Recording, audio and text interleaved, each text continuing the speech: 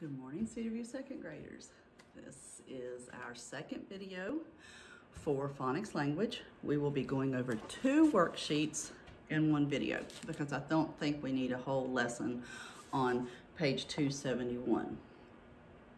So we're gonna be doing page 271 and 273 in this video. No, you don't have to do both pages at the same time. I'm just combining the videos for the teaching.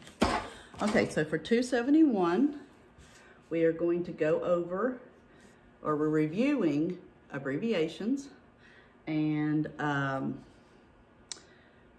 for months and also for um, measurements. We will be skipping, I don't have it X'd out yet, but we'll be skipping section three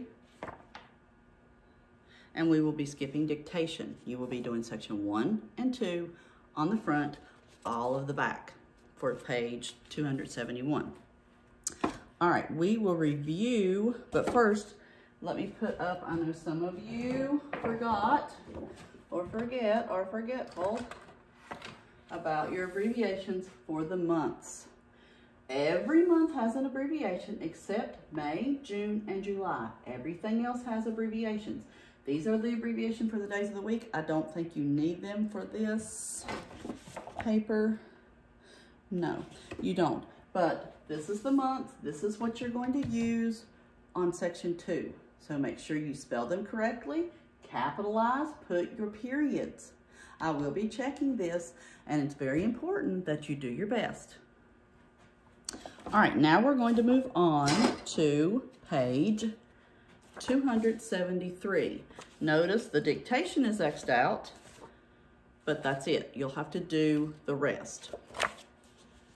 Now, remember, we're going to go over using ER and EST.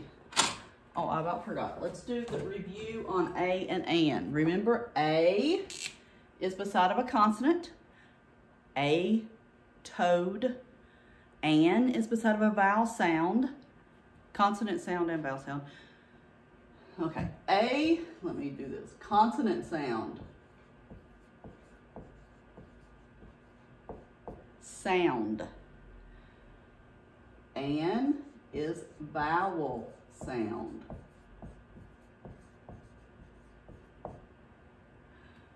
A, car, because car is a consonant.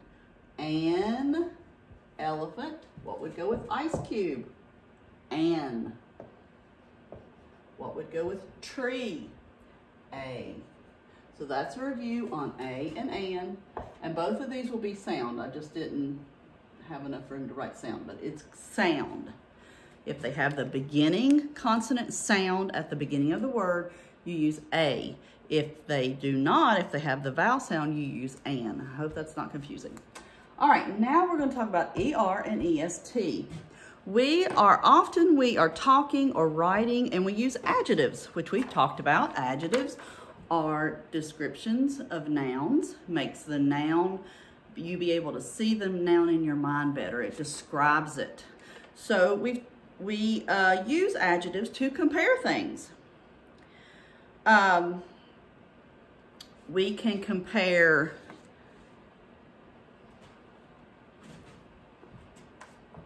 this eraser and this eraser.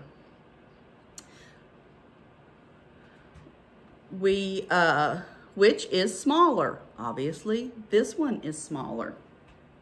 Which is bigger? This one is bigger. Smaller, bigger. When we compare two nouns, we add the suffix ER. When we have three or more things we're comparing, we have to throw in EST for it. Now, let's see. We will have, uh, let's see, this, this, and this. These are all magnets.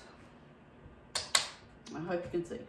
This one is the smallest this one is the biggest. So we're comparing three magnets. Which one? We don't say, if we're comparing three, we always use EST. Biggest, smallest. And I know the magnets aren't that great of an example, but this is the bigger, this is the medium, and this is the smaller. So this is the biggest, this is the smallest. All right, let's look. We have to remember our spelling rules when we are spelling these words. Dark, we're going to make darker. So we would, would we leave it or would we double the K? We would leave the K and not double it because it is not a short vowel sound, it is a special sound. Same thing with darkest, we would just add EST. Now when we get to wet, it is a short vowel, so we have to double that T. W-E-T-T-E-R. Wettest, same thing. It is a short vowel, so we double it and we make it wettest. Happy. Now remember, when it's ending in a Y and the suffix ends in a or begins with a vowel, you will change that Y to an I every time. Happier, H-A-P-P-I-E-R, and happiest, H-A-P-P-I-E-S-T.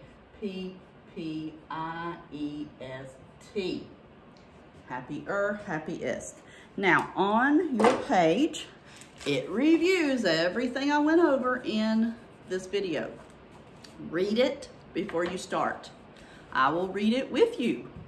Remember these suffix spelling words. When a root word ends with one consonant and the vowel is short, double the consonant before adding a suffix beginning with a vowel. Big plus ER is bigger. When the root word ends with a silent E, drop the E before adding suffix that begins with a vowel. Large, drop the E, ER, L-A-R-G-E-R. Add ER to an adjective when comparing two things. Add EST to an adjective when comparing three or more. John is taller than James. John is the tallest boy in his class. You're going to read these sentences, write the correct adjective in the blank. You will be using ER and EST with the words that are in the um, parentheses. Then down here, you're going to be adding suffixes ER and EST to these words. Remember, if it ends with a Y, change it to an I. If it does not, if it has a special sound or does not have a short vowel, you leave it. You don't add anything. If it has a short vowel, you double. So you'll be doing the front except for dictation. On the back, you will be using your contractions you write the two words under the contraction. We're would be we are. Using may or can on the lines. Remember, may is asking permission. Can is your ability to do it. Mom, blank, I call grandma this afternoon. You, you can call her, but you are asking your mom permission. So you put, Mom, may I call grandma this afternoon? Write a predicate part for each sentence. You're just finishing the sentence, my silly puppy, what did your silly puppy do? Finish the sentence with an interesting predicate. Write a subject part for each sentence. You have the ending of the sentence and now you have to put the beginning of your sentence. So put the subject. Remember to capitalize. This is a sentence and all sentences start with capital letters. And then you're going to just read the sentence, mark the subject and the verb, and diagram it. That's all for this lesson. I'll see you on my next video. You all take care, do your work. Remember, you have to do everything because I will be checking it. You have to turn it in um, by a certain date. So just do your work for that day and you won't have any problems. See you on the next video. Bye.